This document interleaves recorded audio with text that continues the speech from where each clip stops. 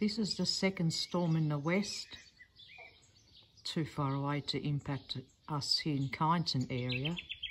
It's going towards Daylesford, second round.